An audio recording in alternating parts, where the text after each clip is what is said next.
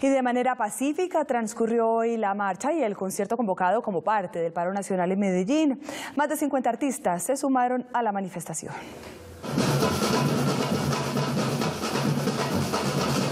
De esta manera, los artistas paisas y de otras ciudades cantaron y bailaron junto a cientos de personas que llegaron hasta el centro de Medellín, marchando desde las 9 de la mañana, como parte del movimiento Medellín Resiste Cantando.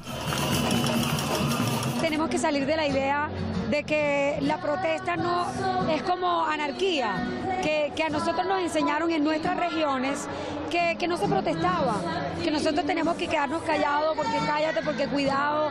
Aquí a la avenida San Juan, a este concierto en el paro nacional del 22 de diciembre, llegaron más de 50 artistas, muchos que ni siquiera estaban citados, asistieron a presentarse. Vemos con mucha satisfacción cómo cada día crece más conciencia para estar en las calles. Quienes se manifestaron este domingo rechazaron especialmente la aprobación de la reforma tributaria. Nos da una muestra de que este gobierno cada vez quiere seguir atacando la clase baja y la clase, y la clase pobre. Recordemos que el paro nacional comenzó el pasado 21 de noviembre.